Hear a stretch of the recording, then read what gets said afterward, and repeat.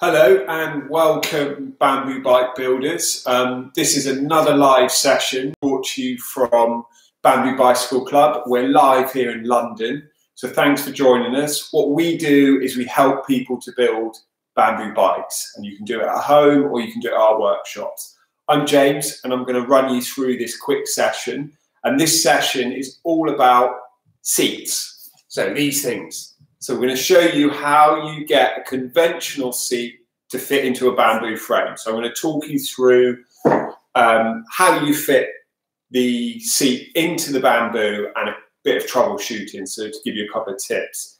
If you're at home, congratulations for hitting Wednesday. Well done. And to celebrate, let's, I'm going to have a beer. So if you want to join in, grab a beer, grab anything you like out the fridge. I've got um, Clown Shoes, which is the which is an American mango beer. So it's a bit fruity. It's been at the bottom of the pile for a while, so I thought I'd give it a go and see what it's like. Fortunately, in London, we're kind of hitting better weather, thankfully. So it's nice to have a more fruity beer. So if you've got any questions, feel free. I'm going to start and just explain a bit further about what I'm talking about. Okay, so in your kit, you'll get a standard bit of bamboo like so um, that is for the seat sleeve, and it's longer than you need. So you're talking kind of 700 mil long, and you're only normally going to need 560, 540, 560 millimeters, that is. So what I'm going to talk you through is how you trim the bamboo down so it will fit, and how you insert this small seat sleeve here. So if you missed our metal insert session, I talked through all the different types of metals that we insert into the bamboo, and that gives us our tolerances that we need to make the bamboo work as a conventional frame. Obviously, in a dream world, you'd pick the perfect bamboo that would have the right tolerance, but fortunately or unfortunately, bamboo's a natural product, so the sizes are always going to vary. So by using a standard sleeve, we can fit to the tolerances of the bike industry. So we can fit a 27.2 seat post into our bamboo. And that's what this sleeve does. So this comes in your kit. So what I'm going to do is I'm going to show you what it looks like and what to think about. So if you've got a piece of bamboo, you can test the fit. And if the fit is a bit tight, so going in here. So the first thing to look at, if the fit is too tight, what you're going to do is you're going to grab a rounded file.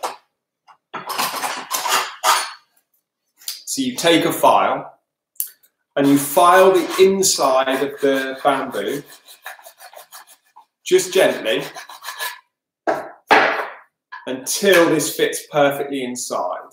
So that's the first issue does it fit? If it's slightly off, very slightly, you'll just file the inside walls. It's probably going to take you five, 10 minutes, and then this will slide in. The other key consideration is if you have a piece like this and it's loose, okay, say you've used your standard seat sleeve and you want to use your spare and something and the fit isn't as perfect. What you can do, if this is moving around, you can take a piece of flax, so a piece of flax from your kit, and you can cut what's known as a shim. So you cut the flax to be the perfect size of the seat sleeve, like this. Roll that around, and that will then insert inside of the bamboo. So I just need to trim this a little bit more. So if it doesn't fit perfectly, you can use a flax, which is the fibre that comes into your kit, and you can cut it to match perfectly around the seat sleeve. I would, while you're building, I would fit this dry.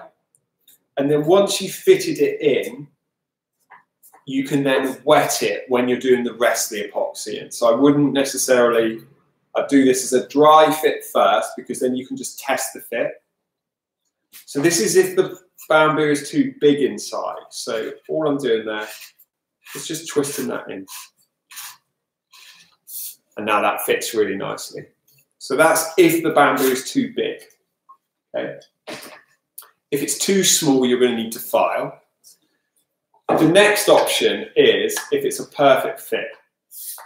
Okay, so I'll get that as the thing that doesn't fit.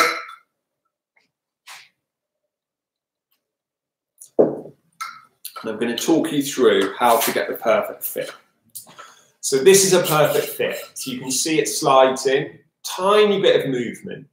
There's a benefit to having a little bit of movement. And the benefit is that as heat, as the aluminium sleeve inside heats up, you're going to get some thermal expansion.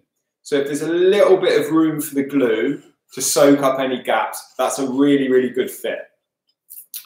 Now, one thing to consider, if you look at this side and you see a node here, what's going to happen is if I fit the seat tube in, like so, and then I fit my seat post you're going to end up with the seat post hitting this node here. So if you look at this option, this fits perfectly. So you can see that the node is further down, gives you lots of clearance to adjust your saddle. Okay. And that works really, really well. So the other thing to be really, really careful of is where your nodes are on the bamboo that you're using. So this is really good because you've got a long stretch here. And if you look at your seat post, that fits perfectly.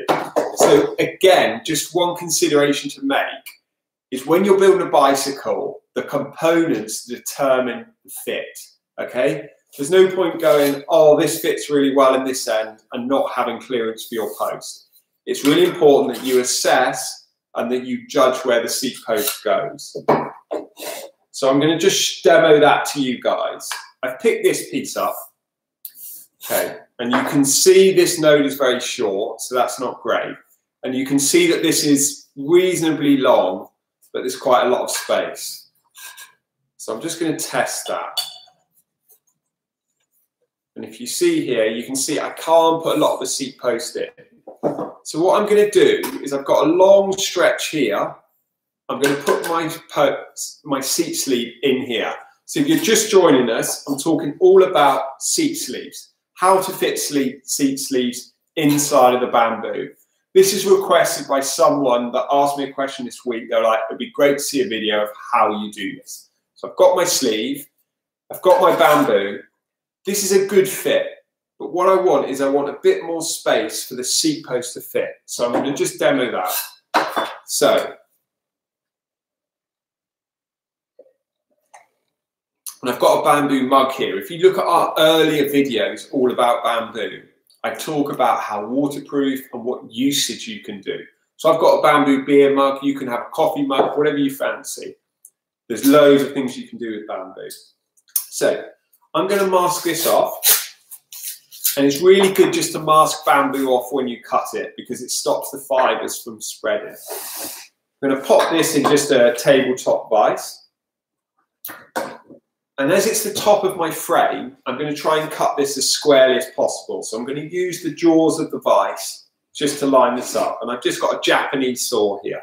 So these are really nice, but you can use a tenon saw, what's behind me. You can use other saws. Um, Japanese saw is really nice because it's got a fine thread. And I'm just going to saw through.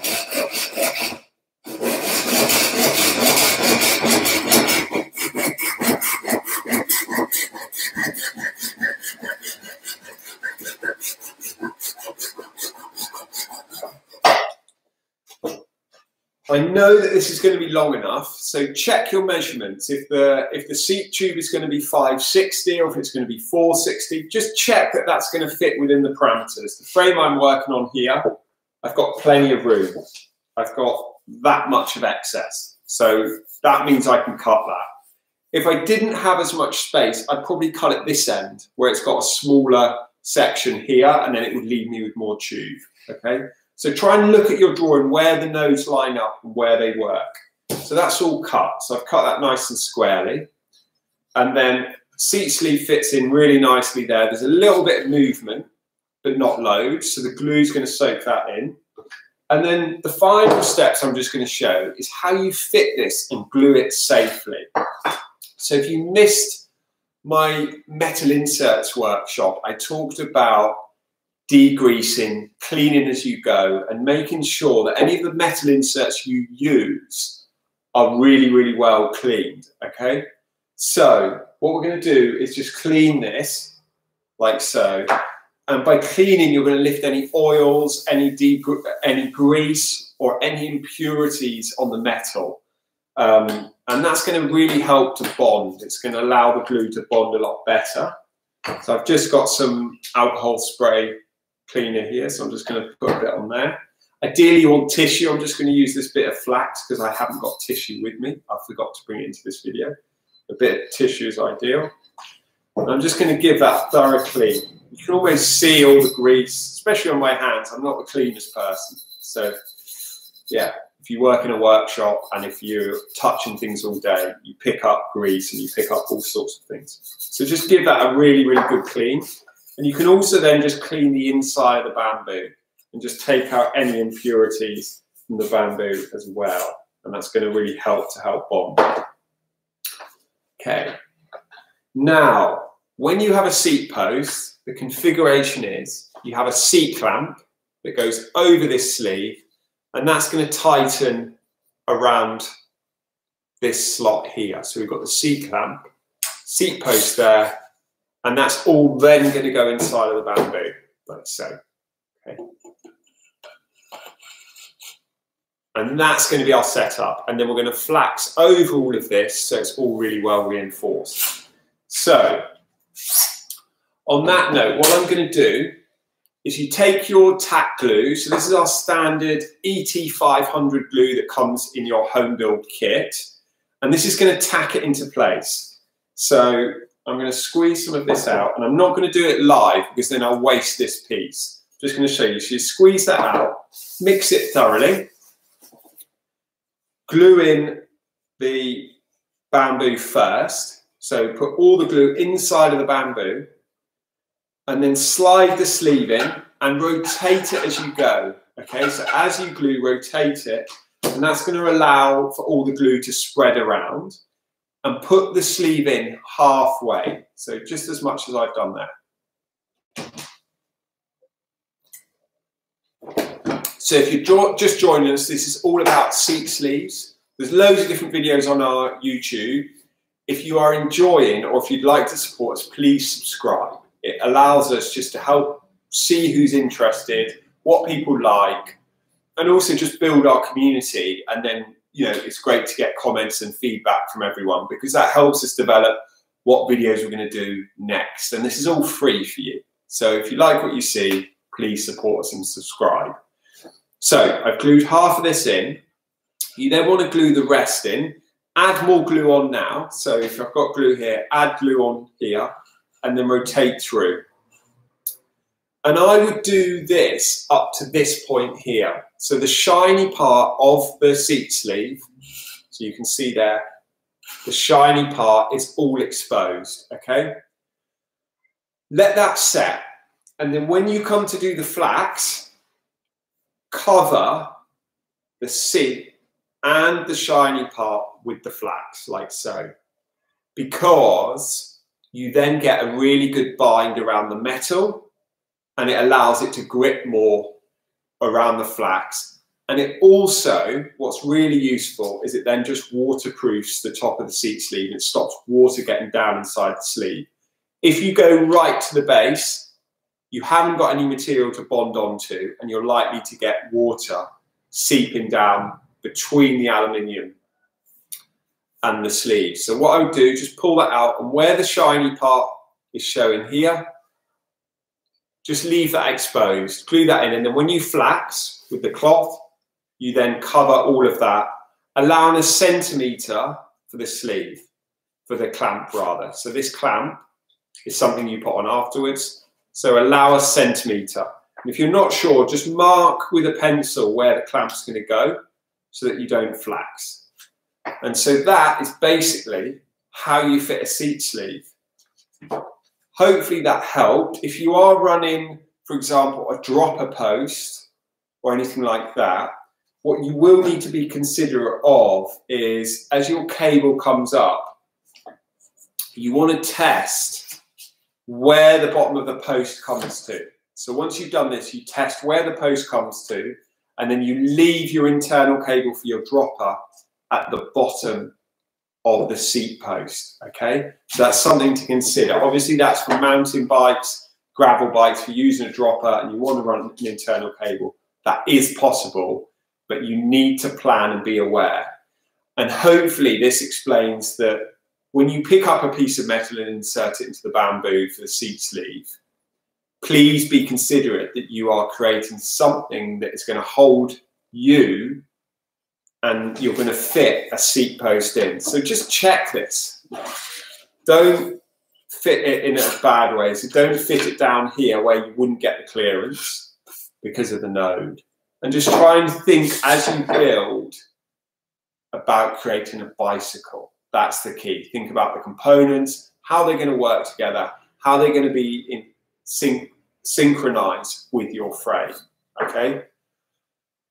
Thank you ever so much for tuning into this live session. This has all been about seat posts and how to fit. And hopefully it's helped everyone at home that's building. If you want us to cover more, or if you're looking for something that you're struggling with at home, or you would like more information on, please just message us or add a comment and we will cover that in our next Wednesday workshop. So thanks again and thanks for tuning in and I appreciate hearing more from all of you that watch it. Bye for now.